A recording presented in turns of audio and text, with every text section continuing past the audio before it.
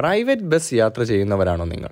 തൃശ്ശൂർ പാലക്കാട് റീജിയനുകളിൽ നിങ്ങൾ പ്രൈവറ്റ് ബസ്സിൽ യാത്ര ചെയ്യുകയാണെങ്കിൽ യാത്രാമധ്യേ നിങ്ങളുടെ റീചാർജ് തീർന്നു പോകുന്നു എന്ന് വിചാരിക്കുക.